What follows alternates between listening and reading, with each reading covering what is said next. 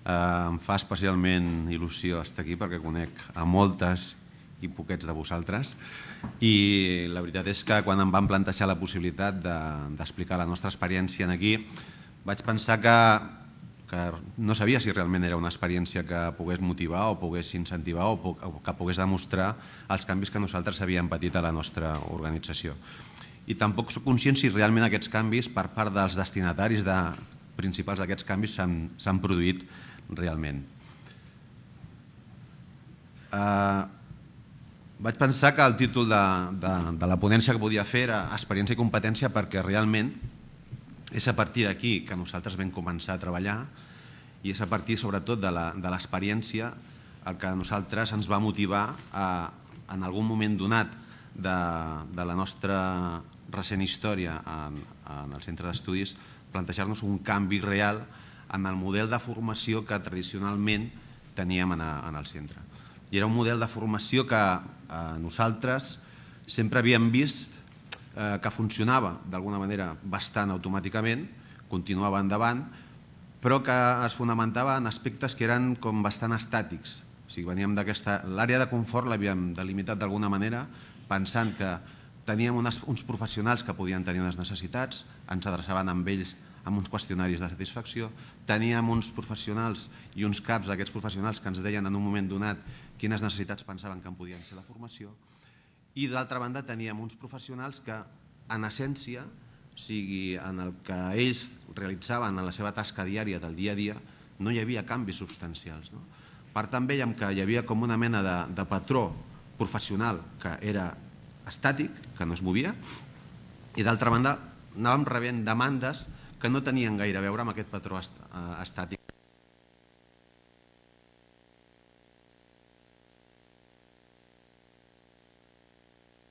Que hi havia un canvi important a l'organització, era un moment de confort professional segurament, però era un moment de confort econòmic també. Era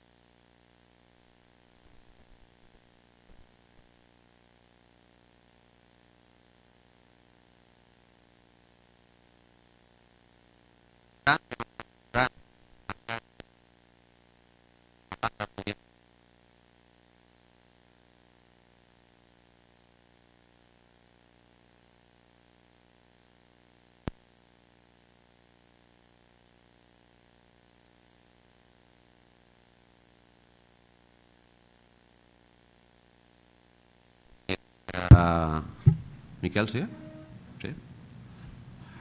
Ara s'ha anat el fil. I el que vam pretendre és eh, intentar plantejar-nos si el que teníem era vàlid o el que volíem era fer un pas endavant. Uh, la situació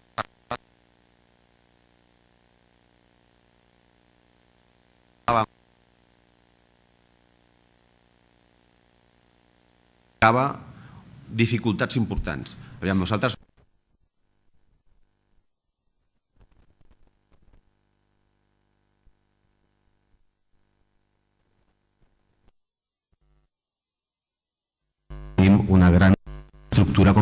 plantejar-nos fer un canvi radical eh, en el model que teníem. Però vam pensar que necessitàvem fer aquest canvi, entre altres coses perquè el que podíem assolir era quelcom més important pels professionals que finalment faríem la formació amb nosaltres que no passa el model que teníem anteriorment.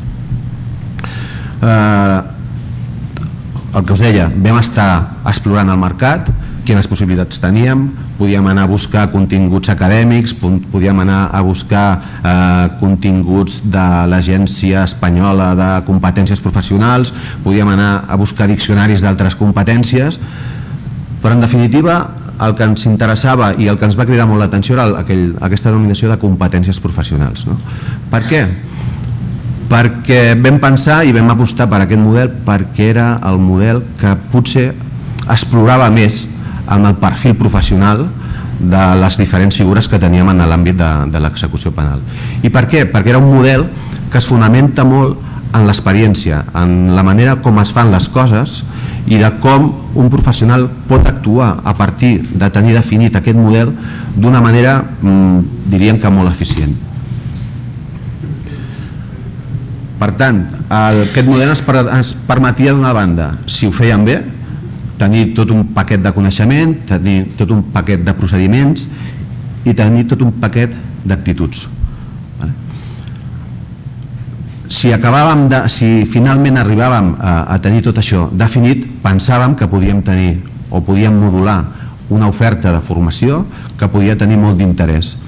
Però era una oferta de formació que no només tenia interès pels professionals. Aviam, nosaltres no deixem de ser part de la institució, estem al Departament de Justícia, tenim una sèrie de funcions assignades i no ens podem tampoc eh, escapar d'aquest marc d'actuació. Per tant, el nostre producte també havia de donar resposta a la institució. I pensàvem que el que no s'havia fet fins ara i és que si començàvem a definir amb detall allò que s'espera dels professionals que treballen en l'àmbit de l'execució penal en el departament, el que estàvem fent també és aportar-li una informació de molta qualitat al nostre departament perquè fins ara sí que hi havia funcions, no? allò que han de fer els treballadors socials en l'àmbit penitenciari, que han de fer els treballadors socials en l'àmbit de l'atenció la, a la víctima, en l'assessorament penal, però no estava detallat en cap moment.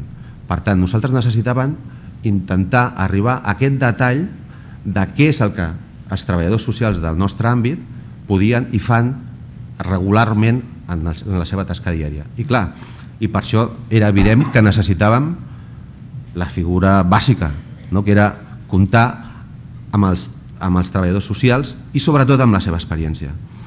Per què? Perquè tots sabem no? que eh, l'experiència és la que ens aporta moltes vegades i ens concreta o modifica o millora els coneixements.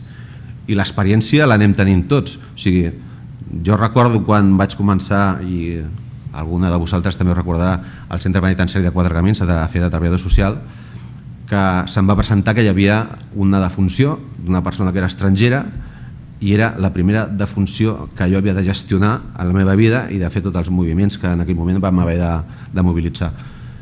Jo no tenia ni idea.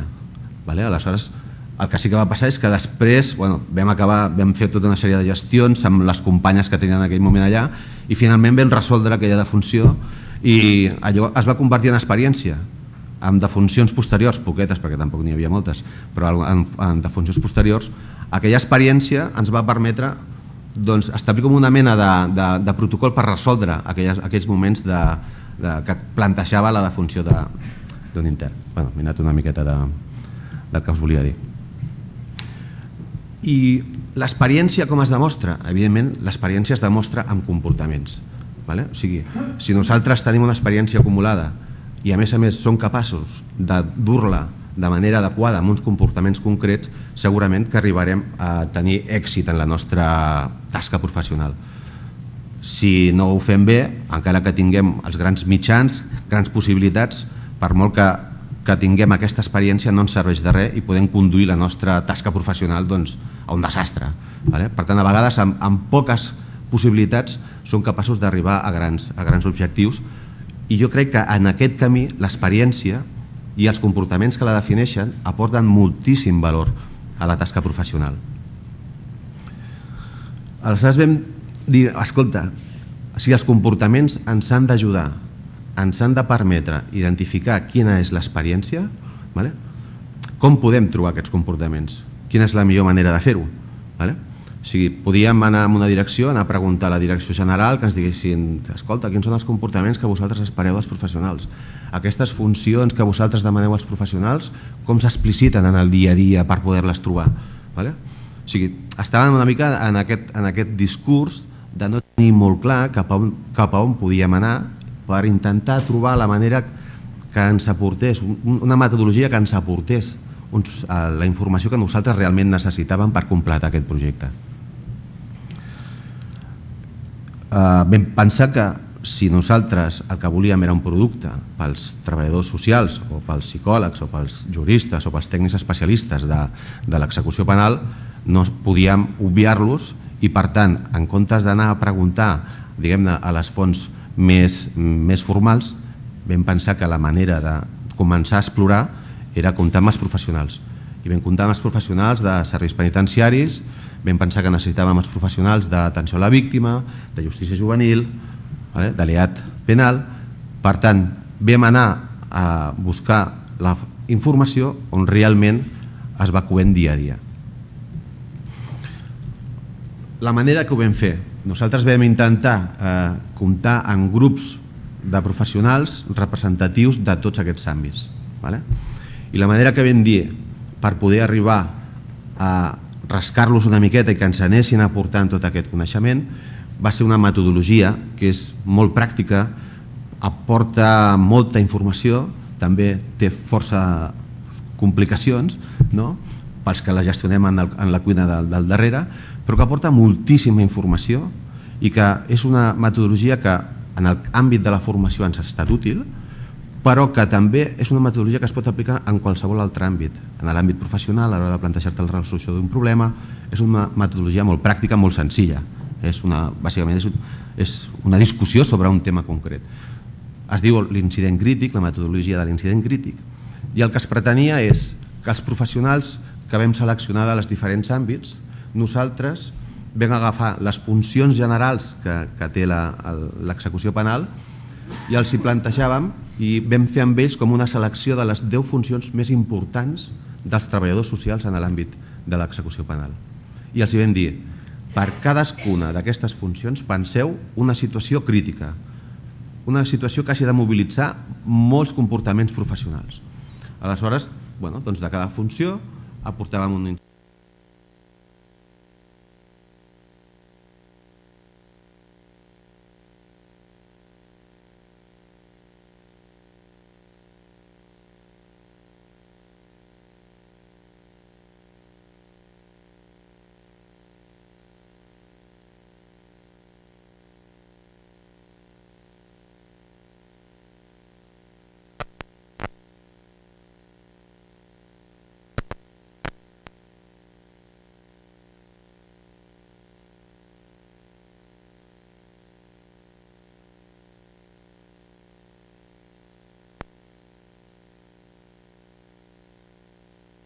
Aquest, eh, aquesta idea implicava que nosaltres anàvem recollint, eh, hi havia grups que eren més productius que d'altres, però anàvem recollint tota aquesta informació i el que sí que teníem clar és que el resultat de cada grup i el resultat que després nosaltres podíem aportar era un resultat que havia d'estar validat per tots els components del grup. No podíem pretendre després nosaltres, per una banda, eh, fer tota una redacció sense tenir validats els comportaments que algun grup havia decidit que eren vàlids i d'altres no. Això que ens va permetre també doncs, que es van anar complementant comportaments respecte als comportaments que un grup havia treballat. On vam arribar en tot això? El resultat és que jo crec que va ser molt important eh? i és un resultat que eh, el dia a dia també es va modificant. No, no pretenem que sigui un resultat estàtic. Però el resultat és que per nosaltres, des del punt de vista de la formació, vam tenir la possibilitat de començar a organitzar molt clarament els models de formació. Per què? Perquè amb els professionals, a través dels incidents crítics i buscant aquest model de competències professionals, nosaltres ja teníem una base comuna de determinats comportaments basats en l'experiència que eren importants pel perfil professional. Per tant, si eren importants pel perfil professional, s'havien d'estructurar com una base de referència en la formació. Per tant, per nosaltres, el que hem a determinades competències professionals, el que hem de fer nosaltres és treballar aquestes competències també des de l'àmbit de la formació. Per tant, resultat final. Eh, els treballadors socials d'aquests grups vam treballar, vam, vam explorar i al final vam trobar tota una sèrie de comportaments que ens van definir 11 competències professionals.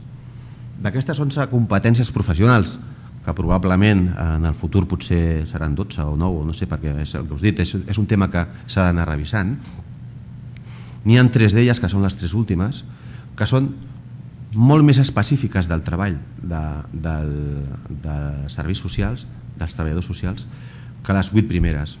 És molt curiós veure com en l'àmbit de l'execució penal les vuit primeres competències són gairebé transversals als diferents perfils que fins ara hem treballat amb especificacions concretes de cada, de cada perfil professional. Però sí que és veritat que cadascuna de les tres darreres, el treball en xarxa, la planificació de la intervenció social i la intervenció social, sí que són competències molt exclusives de l'àmbit del treball social. Per tant, nosaltres amb això tenim una possibilitat enorme de començar a estructurar la formació. Perquè a més a més tenim, de totes aquestes competències se'n deriven 150 comportaments, que segurament poden ser més o poden ser menys, eh? però els que nosaltres amb aquest grup de treball vam determinar és que sortien 150 comportaments que tenien una característica molt rellevant i és que eren comportaments observables. Nosaltres podíem veure com un professional, si aplicava tots aquests 150 comportaments, no sé si seria un excel·lent professional, però sí que podríem dir que seria un molt bon professional si els aplicava en, cadascuna, en cadascuna d'aquestes competències. Però és que aquests comportaments, des del punt de vista professional, són molt importants perquè d'alguna manera t'està dient quines, quines són les eines que jo necessito per dur a terme determinades funcions o determinats encàrrecs que jo puc tenir a la meva feina, però aquests 150 comportaments a nosaltres ens aporten molta informació perquè s'acaben convertint en el contingut de les activitats de formació. Ara que en tenim? Ara tenim activitats de formació que, d'una banda, incorpora tot aquest model de competències professionals, és la base de l'oferta que nosaltres fem, i també incorpora algunes necessitats concretes que se'ns planteixen des de les unitats, perquè és allò que us deia, no podem obviar que nosaltres també hem de, som institució i per tant també hi ha determinats encàrrecs constitucionals institucionals i constitucionals també que, que hem de complir. Vale? I el resultat és el vam parir eh, l'any passat. O sigui, vosaltres, jo voldria que hagués arribat a tothom i que tothom hagués, hagués entrat a partir a veure l'oferta formativa a partir d'aquest model, però nosaltres el que tenim ja són unes guies de formació orientatives als professionals en les que els diem, escolta, nosaltres hem treballat amb aquest model, nosaltres et diem quines són les competències que nosaltres, juntament amb els treballadors socials, hem acabat de concretar. I nosaltres et diem quina és l'oferta formativa que nosaltres pensem, més o menys encertadament, que pot donar resposta en aquestes necessitats formatives. Vale?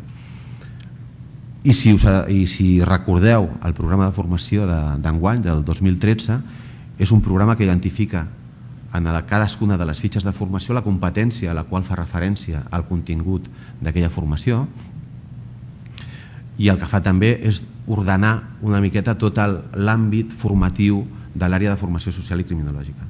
És formació que ens serveix i és un model que ens serveix per ordenar la formació inicial. Penseu que d'aquí nosaltres eh, podem detectar quins comportaments és necessari treballar amb aquelles persones que s'incorporen al sistema perquè són específics de l'àmbit del treball social, però també podem fer formació d'actualització en aquelles competències que són com més bàsiques, més del dia a dia, i formació d'aprofundiment que acabes treballant petits, petits formats o en grans formats especificitats de cadascuna de les competències però amb molta més intensitat. Per què? Per donar, intentar donar més eines en anar guanyant aquesta experiència i sobretot per anar treballant aquests comportaments que nosaltres prèviament ja, ja hem treballat. Si us fixeu en aquestes guies que podeu trobar en el web del centre, eh, cadascuna de, de les competències té una definició, la definició és la que col·lectivament vam pactar, o sigui, tot això està consensuat, vale? consensuat per d'una banda amb els treballadors socials que van participar en els grups de treball, però també amb la, amb, amb la direcció general, amb les direccions generals. I aleshores aquesta guia us orienta a si heu de treballar en xarxa quins són els comportaments més adequats per fer-ho d'una manera eh, eficient. S'entendria que si una persona eh, té els comportaments contraris als que apareixen aquí, és una persona que realment doncs, no s'alinia amb, el, amb el sistema i amb el que d'alguna manera s'espera d'un treballador social en l'àmbit de l'execució penal. Però cada fitxa té això, o sigui, t'orienta, nosaltres vam dir, escolta, és important que tothom conegui què és el que s'ha treballat, quin és el resultat, què és el treball en xarxa, com es defineix, quins són els comportaments, què és el treball en equip, què és la competència institucional, vale? I aporta tota aquesta informació que és moltíssima, realment és moltíssima. Però a més a més, el que intentem també és dir, escolta, nosaltres intentarem, i això és una orientació el que fem en cadascuna de les fitxes, és que de cada competència la nostra responsabilitat és vincular-la en l'àmbit de, de la formació. Per tant, de cada competència nosaltres pensem que hi ha uns continguts que nosaltres haurem d'abordar, hi ha algunes possibilitats de, de, de fer activitats d'aprofundiment que nosaltres ja n'hem fet algunes però que també podrem avançar amb la idea de que el professional eh, ja que no tenim altra possibilitat és d'alguna manera s'autoreguli el seu camí per la formació en base a aquest model de competències professionals a intentar identificar aquells, aquelles competències o aquells comportaments on ell pot avançar i si té la sort que el nostre programa li, li facilita eh, aquesta formació, doncs apuntar-s'hi. Si n'hi ha prou places, si, si hi ha prou hores de formació i totes aquestes coses que tot plegat és un embolic en aquests moments. Eh? I la veritat és que ara nosaltres eh, no sabem si entrarem en una zona nova de confort, si aquest nou programa de, o metodologia de formació ens mantindrà estancats durant molt de temps, si acabarem una mica de relegats al despatx una altra vegada sense moure'ns, però la nostra idea és intentar anar millorant. De fet, eh, l'any passat, quan vam presentar el programa de formació i li vam fer un canvi realment diferent també en, en, el, en el seu disseny i pensem que tot i les dificultats que tenim moltes perquè nosaltres som companys vostres i estem en la mateixa situació, política, econòmica i social, doncs intentarem continuar avançant sempre que sigui possible. Però jo crec que el que sí que volia destacar de, de, tot, aquest, mm, de tot aquest projecte és la importància a vegades de, de fer aquest pas i de, de remengar-te una miqueta les mànigues i començar a rascar, a explorar i mirar i veure i adonar-te de la gran quantitat d'informació i coneixement que hi ha al darrere de, de cadascuna de les nostres actuacions. No? A vegades el problema és que no tenim aquest espai no? per pensar i revisar, però en el moment que et decideixes a fer-ho, realment és, és, és força, aporta molta satisfacció. I jo recordo de, del primer moment en què, en què vam començar a, a treballar en aquest, en, aquest, eh, en, el, en el model de competències, que va ser en el 2008, si no recordo malament, l'any passat que vam treure el programa, ja veieu que ha passat molt de temps, doncs la veritat és que t'ha portat també molta satisfacció. No? Ara haurem de veure si realment el que hem fet dona, dona resultats i la satisfacció de vosaltres, que sou els destinataris d'aquesta formació, és la, la que nosaltres esperem i com podem anar concretant aquest model. Eh, no tinc res més a explicar-vos. Eh, moltes gràcies.